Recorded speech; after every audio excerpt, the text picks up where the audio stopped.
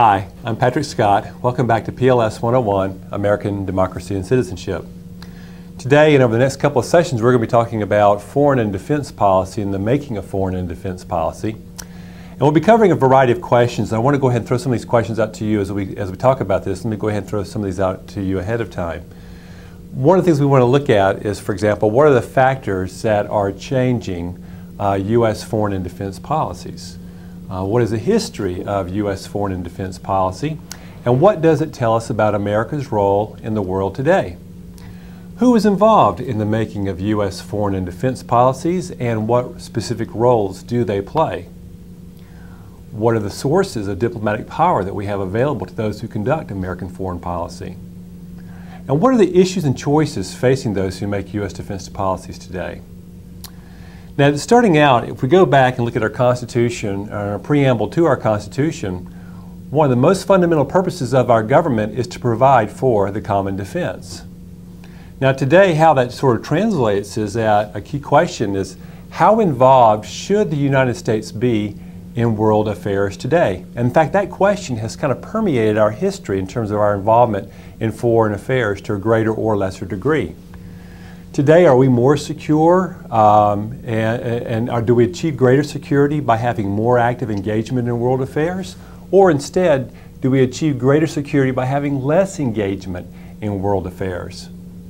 Should America play a leading role uh, overseas and, and work with international bodies like the United Nations uh, on an active basis?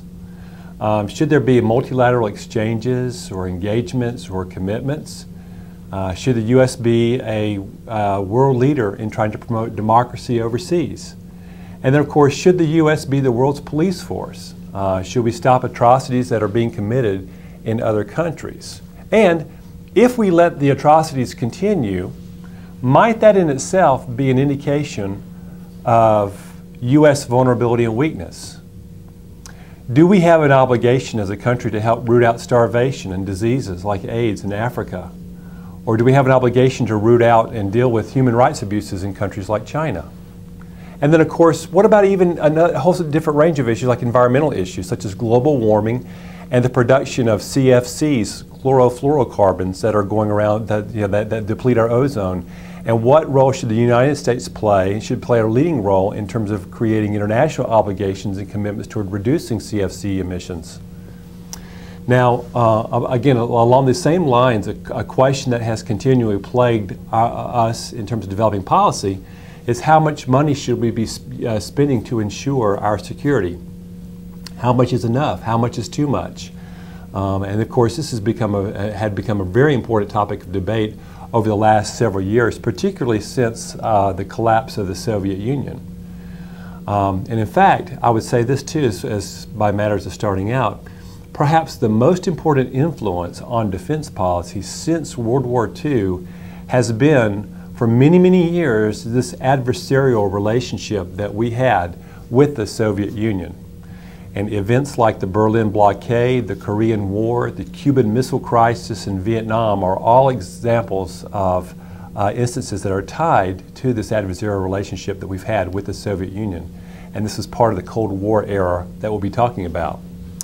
And in addition, in addition to, in our history, to conventional conflicts like Vietnam and Korea, uh, of course, there's been also concerns about the nuclear arms race, a buildup of arms between the U.S. and Soviet Union and other countries now. And this buildup of, ar of arms over the, over the last 50 years or so has created a cache of, of nuclear weapons that are capable of destroying the world several times over. Now, again, today the Soviet Union no longer exists, but I think ironically the situation may be more dangerous today than ever before. For example, instead of negotiating with one country, the Soviet Union, we now have to negotiate with several countries that came out of that breakup of, that, of the Soviet Union. Uh, for example, Belarus, Georgia, Kazakhstan, Russia, uh, Ukraine. And recently there was something in the news about Russia providing Iran with nuclear materials. Okay? And then, of course, we have other hot spots too, besides Iraq and North Korea, uh, just the Middle East in general. And then we also have to decide how quickly and in how many simultaneous situations are we prepared to respond to conflicts overseas. Should we be prepared to fight two major conflicts at the same time or three? And so, again, there's, there are a lot of questions here that really garner a lot of time and attention of U.S. policymakers because of these very, very, very pressing issues and, and, and situations that which we now uh, face, find ourselves facing. If we were to go back and talk a little bit about the historical overview of our U.S. foreign policy, and I want to spend a few minutes doing this, let's talk about some of this and, and sort of where, where, we started here. I think, first of all, one of the things I'd like to talk about is how, in a lot of ways, the United States has always shied away from becoming overly involved in world affairs, at least for a, a good portion of the history of our country. During the 1800s, for example, America took a posture called isolationism. And isolationism basically was to avoid direct involvement in European affairs. And that characterized much of our foreign policy. Uh, back when James Monroe was president, he enunciated something called the Monroe Doctrine back in 1823. And what, what the Monroe Doctrine basically says is the United States would stay out of European affairs as long as Europe stayed out of the Western Hemisphere. So the Western Hemisphere was something that we came to look upon as our own backyard, that is Latin America, for example, um, and Europe should stay out of that. And again, we will not, meddle, as, as in return for that, we will not meddle in Europe's affairs. So isolationism in this respect really meant not isolationism, isolationism from all kinds of entanglements, but, uh, but primarily it was applied to those affairs across the Atlantic in Europe. Now, also going on this time, besides this, this ten, tendency toward isolationism, this period of the 1800s was also marked by uh, another tendency called expansionism. As you remember, maybe the term manifest destiny, the phrase manifest destiny. This is the idea of trying to expand our, our boundaries from the Atlantic to the Pacific, from sea to shining sea. And there are a lot of notable uh, acquisitions of uh, purchases we, we, had made or acquired you know, during this time. Uh, for example, of course, the Louisiana purchase in 1803. Uh, during this time also, we acquired Alaska from Russia. Uh, we obtained portions of the Southwest from Mexico from 1846 to 1848. Uh, the Spanish-American War in 1898, we actually obtained Puerto Rico, Guam, Cuba, and the Philippines. And of course, during this time, the U.S. actively intervened in the, the affairs of Latin America. But again, following the, the Monroe Doctrine principles, we tried to stay out of Euro European affairs by and large.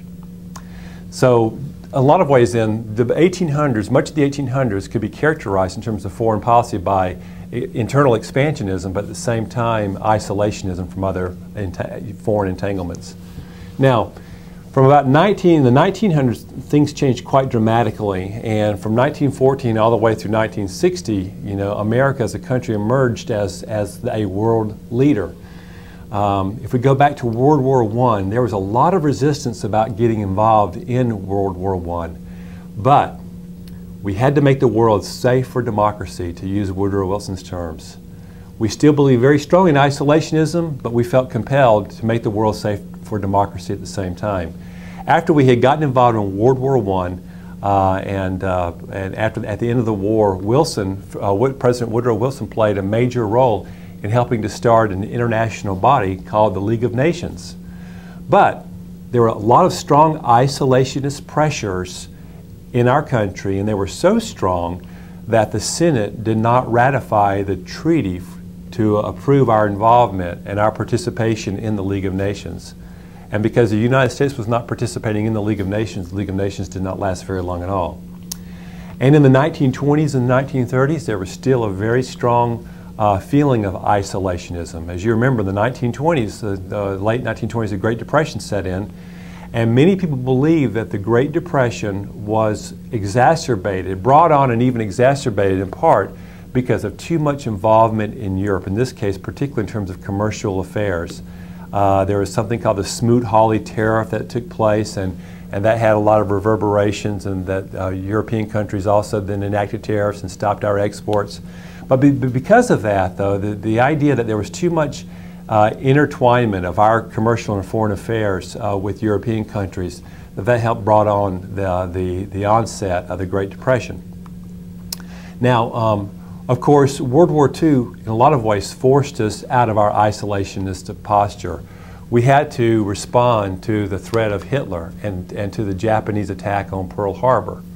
And so we've got become very, very involved here in, in World War II, obviously, in playing a major role. At the conclusion of World War II, in 1946, we, uh, the, the United Nations was created, and this time we became active participants and played a leading role in the establishment of the United Nations. During the same time, we began to see the rising influence of the, uh, the Soviet Union, the USSR.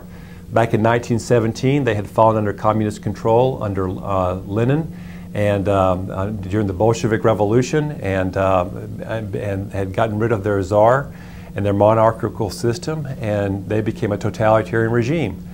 They began to uh, engage in expansionism, and they began to tighten their hold, its hold, on Eastern Europe. And they created this uh, something called the Warsaw Pact and the Iron Curtain. And uh, as a response to that, we saw a growing threat of the Soviet Union. And when they began to uh, set off the when they set off the hydrogen bomb, they, we realized that they were very, very close to us in terms of their nuclear technology. Um, in response to the creation of the Warsaw Pact, which was a military alliance of Eastern European nations, and they had lined up all their uh, tanks and troops on Eastern uh, European borders with the Western Europe. In response to that, we created and participated fully in something called NATO, the North Atlantic Treaty Alliance, Treaty Organization, in 1949. And basically, the creation of NATO, and with, along with the creation of the Warsaw Pact, really marked the beginning of the Cold War. And the Cold War was basically marked over a period of years by a very high level of tension between the United States and the Soviet Union and its allies. The United States with its allies, the Soviet Union uh, with its allies, NATO versus the Warsaw Pact. The, basically, the way the world was created during that time was almost like a bipolar conception of the world where you had two strong superpowers with their troops on the border ready to invade at any time and both amassing through technology uh, nuclear materials and nuclear weapons. Um, so we have two superpowers, and, and this was simply not, not uh, a mere, mere idle threat because, in a lot of ways, this was an ideological battle. We feared communism. Uh, we felt like communism, which uh, was the ideology behind the, uh, the Soviet system, we felt like, like communism was on the rampage and we needed to stop it everywhere we could.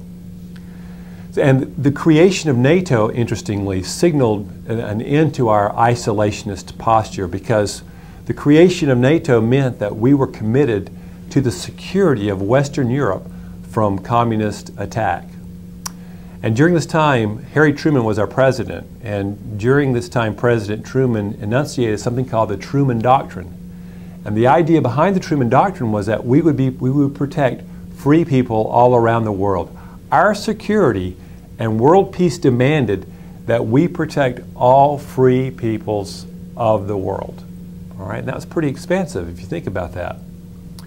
Again, we believe that the Soviet Union sought after world domination. Soviet uh, uh, leaders proclaimed it in their speeches. There was a very famous um, uh, footage of uh, uh, Nikita Khrushchev, who was the Soviet premier, who addressed the United Nations, and he took off his shoe and banged his shoe on the podium and said, we will bury you. So again, we took the threat very, very seriously. It was up to us to try to contain the influence of, this, of communism all around the world. There was a belief in this idea, of the domino theory, and that is if one country fell to communist control, like dominoes, other countries nearby may also fall to communist control. And we had to stop the spread of communism like we would stop the spread of dominoes falling down. So we created through this a policy of containment. And under this policy of containment, we began to provide aid to countries that we thought were vulnerable uh, to the Soviets and Soviet influence. But interestingly, not only Soviet influence, but any other kind of communist influence as well, because China had become communist under Mao Zedong in the late 1940s, and we had to stop communists anywhere, any way, shape, or form. So the policy of containment resulted, in terms of the tangible outputs of that policy, it resulted in our providing greater amounts of foreign aid to countries that we thought might be vulnerable to falling into communist hands. And we would apply this aid to countries around the world. So in 1950, for example, we tried to contain the influence or the Soviet and Chinese influence in Korea by committing troops to help support the South Koreans. And of course, that was led to the Korean conflict. And then, of course, during the 1950s and 1960s, we saw a similar pattern happening in Vietnam. We began to support South Vietnam uh, to help contain the influence of the Viet Cong in North uh, Vietnam uh, under uh, their, their, leaders and under uh, Chinese uh, influence. Now, a real test also came in 1962. We actually almost went to war with the Soviet Union.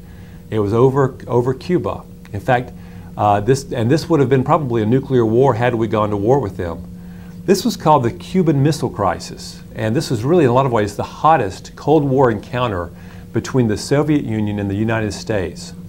And what was happening in 1962 is that the Soviet Union began shipping nuclear missiles to a communist controlled country. Fidel Castro took over uh, Cuba, and here was a country just, just miles on our border under communist control now, communist domination.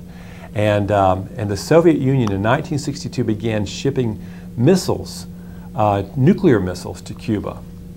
The United States demanded that the Soviets dismantle the missile sites. All of those missile sites, by the way, were aimed at the United States. And of course, if they continued, that would have given us practically no lead time should there be a nuclear attack. And so we demanded that the Soviets dismantle those sites and uh, halt the shipment of more missiles coming into Cuba. We went so far even to set up a blockade around Cuba. Our Navy set up a blockade, and we were prepared to go to war if we had to. And this encounter, this standoff, lasted for 13 days, and it literally almost took us to the brink of war with the Soviet Union. Finally, the Soviet Union agreed to dismantle the missile sites in return for U.S. assurances that we would be doing the same thing by removing some of our missiles from Turkey. Because we had missile sites established in Turkey, Turkey and those missiles were aimed at the Soviet Union. So again, that was a very, very hard, uh, very, very uh, close encounter that we had with the Soviet Union. Now, and now, as we continued here, again, throughout the 60s and, and, and then 1970, you might say in the 70s really marked more of a bit of a cooling off or a period of relaxation of tensions between the United States and the Soviet Union. Uh, Richard Nixon was our president uh, during that time, and he in initiated a policy of what's called detente with the Soviet Union, the establishment of agreements with the Soviet Union, which again tried to create a relaxation of tension. Richard Nixon went over to the Soviet Union and actually broadcast on TV over there. Uh, uh, the Soviet premier Leonid Brezhnev came over to the United States and, uh, and again trying to create more positive agreements. And we also began the start of some uh, talks designed to limit nuclear weapons. Uh, we were also at the same time trying to open up relations with China uh, with the idea that if we could open up relations with that co communist country, uh, there are some tensions between the USSR and China, and if we could somehow exploit some of those tensions and kind of what they call play the China card, as a way to kind of buffer our relationship with the Soviet Union. That was considered to be in our strategic in national interest to do so. So during the 1970s, and again, we had some, some, some significant talks aimed at reducing uh, the number of nuclear warheads nuclear weapons that we had in our respective inventories, and uh, overall a period of relaxation of tensions. But, the same, but, but by the end of the decade, uh, the tensions flared back up again because in 1979, the Soviet Union invaded Afghanistan. President Jimmy Carter uh, at the time uh, uh, responded. Uh, in 1980, in fact, uh, the, we had the, the, the Olympics and in Moscow, and we did not participate in the Olympics at that time. during that time also, we, we saw not only the Soviet Union invading Afghanistan, there wasn't really a whole lot that we did about that except try to provide some assistance to resistance fighters over there, the Mujahideen uh, to try to help them. The CIA provided some weapons and some training, some technical assistance to the Mujahideen to, as, uh, in terms of guerrilla warfare and guerrilla tactics. Uh, at the same time, in 1979, going back to 1979, uh, during that year, Iran, uh, uh, the, the Iranian regime, the Shah of Iran fell under the influence of Ayatollah Khomeini and uh, during that time, uh, during that revolution, uh, the, the Iranians took Amer American hostages. They, they um, uh, overran our embassy and they took American hostages. So we felt vulnerable in a couple of different ways. Here we couldn't stop the Soviet influence in Afghanistan. We saw the Soviets once again for the invaders and trying to uh, establish communism influence all over the world. And, and we felt vulnerable because of what was happening to our, our embassy in, in Tehran, Iran. So we felt vulnerable and we needed a strong leader. And so uh, Ronald Reagan uh, was running for president and he basically said, you know, elect me and uh, we will uh, I will help America become strong again. I will achieve peace through strength. And so during the Reagan administration, the 1980s, we began to witness the largest peacetime military buildup that the world had ever seen. The Soviet Union, by the way, tried to match up their buildup with our buildup as well. Uh, and that had some consequences toward the end of that decade. Um, but in any case, uh, we would achieve peace through strength. And one of the ways in which we would do this also is through engaging in a lot of research and development. You may have heard of the term Star Wars. A lot of R&D funds were beginning to be allocated, billions of dollars toward a, a Star Wars program that was an anti-ballistic missile defense pro, uh, uh, uh program, a nuclear shield that might, if, if, an, if it would work, would stop nuclear missiles, ICBMs, intercontinental ballistic missiles, from coming in from the Soviet Union into our atmosphere. So we began to see a lot of uh, research and development toward the Star Wars program. Under Reagan, then we really stepped up our defense spending. Um, and we provided aid to a lot of countries to contain communists, the spread of communism. We provided a lot of aid and assistance to El Salvador. Uh, we tried to fight uh, the, uh, the Sandinistas who had taken control in Nicaragua, and we were providing aid to what was called the freedom fighters to, to overturn and, and uh, the, overthrow the regime in, in Nicaragua. Um, during the same time, we tried to control the export of sensitive technologies and high-tech goods to the Soviet bloc uh, and to uh, China as well. And um, so again, we saw some different ways in which we're trying to stop the influence of the Soviet Union. Now, at the end of that decade, in the late, late 1989, the, the communist leaders of many of the Eastern European nations began to lose their hold. Uh, many of the communist regimes were, were, were being toppled. Uh, for example, Hungary, um, Poland, uh, and, uh, and, the labor movement of Walesa, for example, in Poland leading toward democratic change in these countries.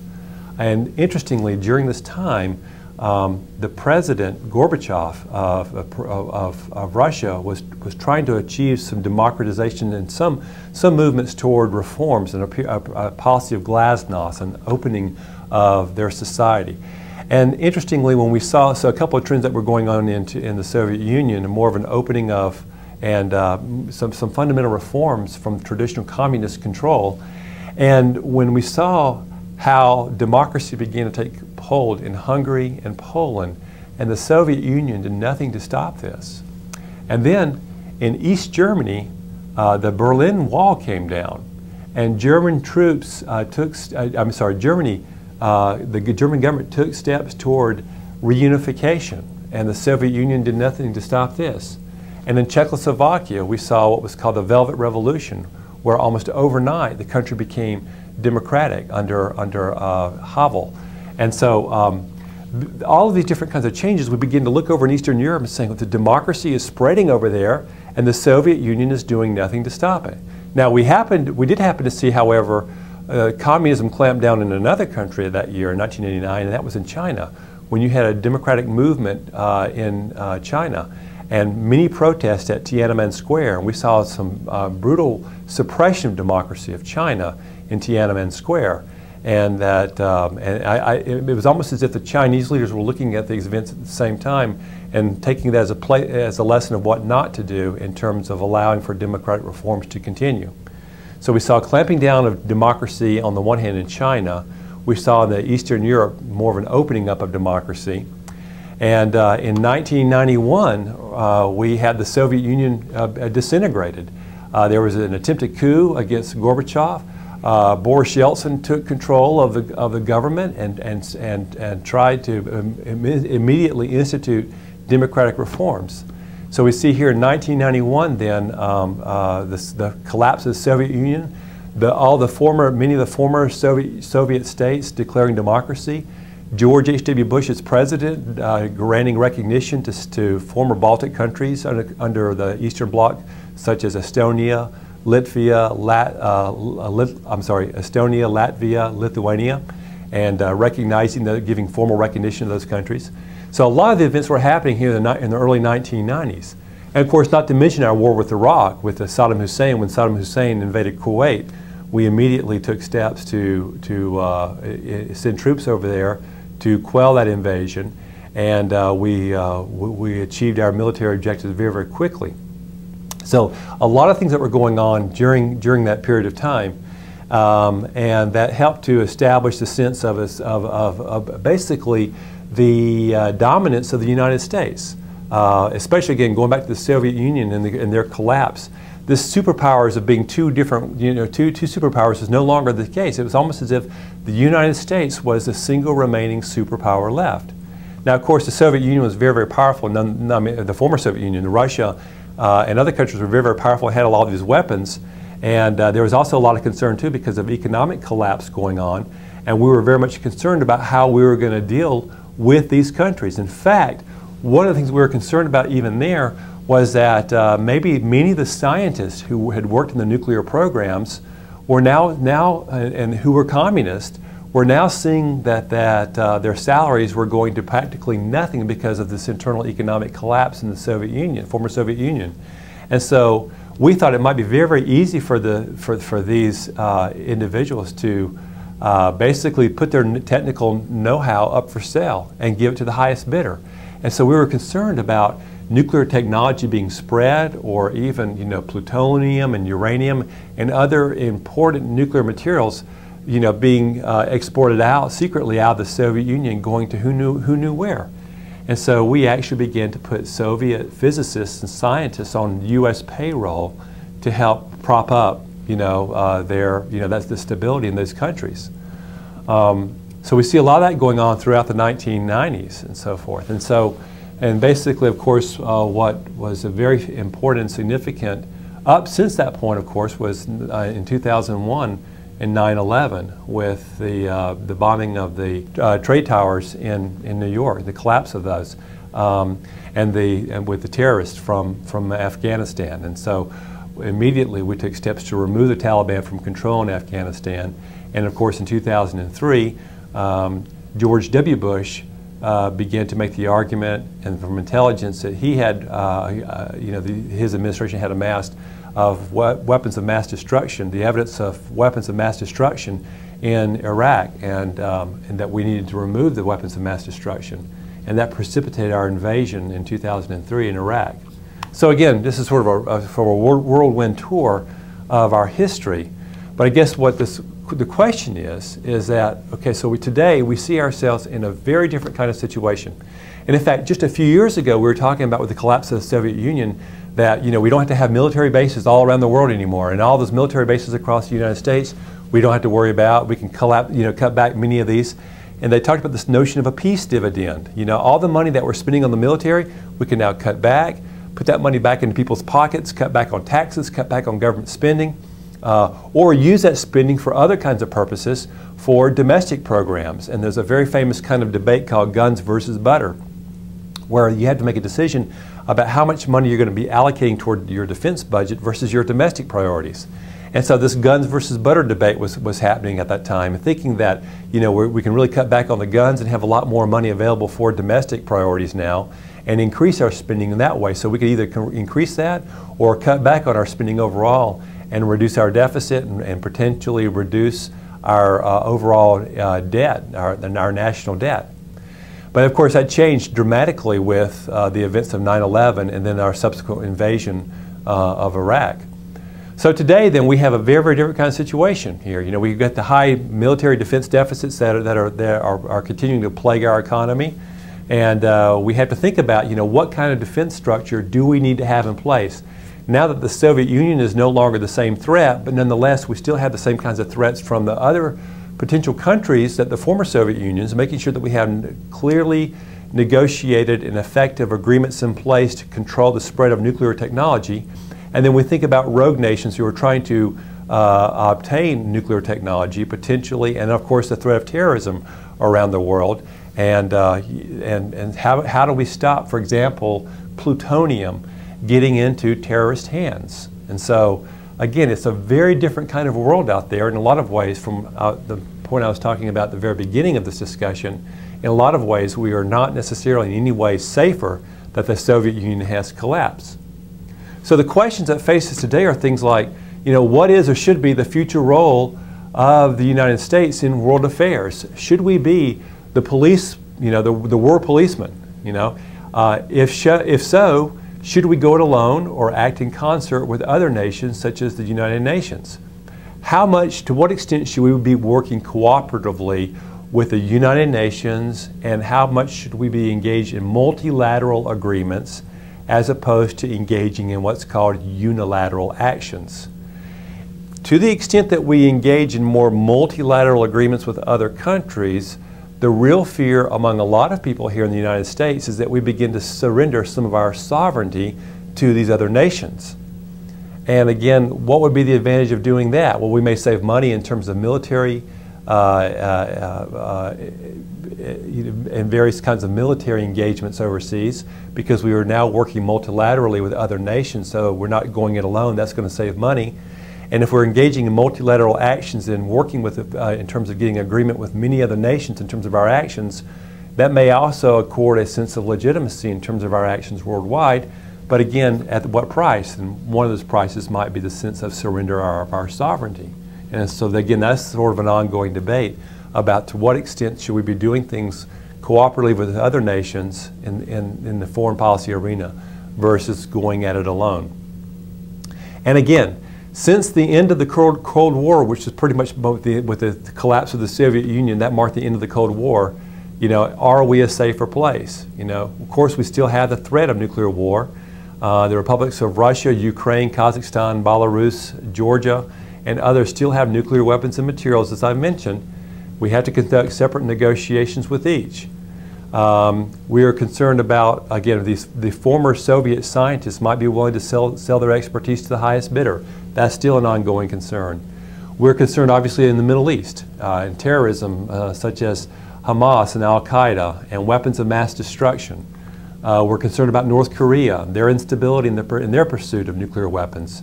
We're concerned about Iran and fundamentalist hardliners who, who want to pursue nuclear technology. So all of these things really occupy, and they appropriately occupy much of our time and attention. Um, we're certainly also concerned about relations between India and Pakistan as well. Uh, and we're concerned about, for example, Pakistan's ability to deal with Al Qaeda, especially along its regions and provinces that border, Afga- uh, that border between Afghanistan and, and uh, Pakistan. And, and those parts of Pakistan, how well is Pakistan able to, to control some of these provinces? Um, and um, we also need to think about uh, you know things in a long-term kind of kind of fashion. Um, I had mentioned, for example, that you know we were when the Soviets invaded Afghanistan back in 1979. We trained a group called the Mujahideen. Uh, they were they were fundamentalist in their Islamic religion, and one of these quote freedom fighters was Osama bin Laden, and the CIA trained Osama bin Laden and, and other mujahideen and provide them weapons and materials, trained them in guerrilla warfare tactics, supplied them with sophisticated weapons to fight the Soviets. And I think bin Laden learned well from these kinds of things. But what this underscores here is the need for us to take a long-term view of our, you know, in terms of our foreign policy. Uh, Homeland security is a big issue these days. We're concerned about Homeland security after the events of 9-11. you know, the 9-11 event showed us how vulnerable that we were. Um, and then even with Iraq today, even though we're in the process of drawing down troops, uh, we don't want to do so precipitously because if we do that too quickly, we end up creating greater instability in the process. And then potentially, uh, we, we don't want all the effort we put into Iraq to end up becoming a haven for terrorism, and, a, and we don't want Iraq to disintegrate into a civil war between various ethnic groups such as the Sunnis, the Shias, and the Kurds. So again, a lot of these questions you see make the formation and creation of foreign policy a very, very complicated endeavor. And we continue to ask ourselves, to what extent should we try to promote and export democracy? Is that the best way to help make us safe? Uh, will the promotion of democracy work when we try to import it into cultures that do not have a tradition of democratic rule and governance or institutions. You know, if there's very little history of democracy at work, how well does the export of uh, promotion of democracy work in those kinds of cultures? And there have been a lot of interesting views and ideas that have uh, been discussed about this. But again, talking about our role in the world, uh, one, one of the reminds me of here is uh, the idea uh, that some of the views of a foreign State Department official, Strobe Talbott, and he, in a very influential piece, he wrote about support for democracy in the national interest. Now, we'll say this real, real briefly here uh, before we conclude our discussion today. And one of the things that Strobe Talbott believes is that our foreign policy, of course, has gotten more complicated, and it's good to support the transition to democracies because it does help our own prosperity in terms of expanding opportunities for trade and investment. And one of the points that he makes, and I think this is a very valid point, is that when you compare uh, countries that have di dictatorships or other forms of totalitarian rule, democracies are much more likely to be reliable partners in trade, and they're much more likely to pursue policies that are compatible with their own interest. Uh, democracies are less likely to go to war with each other, to uh, unleash tidal waves of refugees, and to create environmental catastrophes and to engage in terrorism. Um, elected leaders in other countries, because they know that they will be held accountable at the ballot box, are more likely to also pay attention to citizens' basic needs.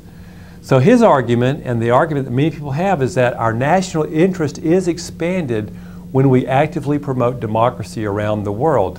We need to expand and secure the community of nations that share our values and have compatible interests. It's an investment in our long-term security. Uh, fledgling, fledgling democracies certainly need our help. Uh, if they don't, they can easily revert to chaos and possibly bloodshed. So the question here is, on the one hand, we want to promote democracies overseas, but at the same time, we also have to recognize that exporting an American form of democracy is not like a one-size-fits-all kind of thing, and we have to be willing to consider the fact that maybe our, you know, some, some of our, our beliefs about democracy are going to be more successful in some cultures, may take a better a foothold in some cultures than others, and be careful about some of the consequences of our actions as we try to promote democracy overseas. Now, this is probably a pretty good time to stop and, uh, and uh, for, for today. Uh, in our next session, we're going to be talking about the making of foreign and defense policy, the different agencies that are involved, and the different kinds of uh, tools that we have uh, to engage in um, uh, influence of behavior, diplomatic tools that we have to, available to influence the behavior of other nations. So, until then, this is Patrick Scott. We'll see you next time.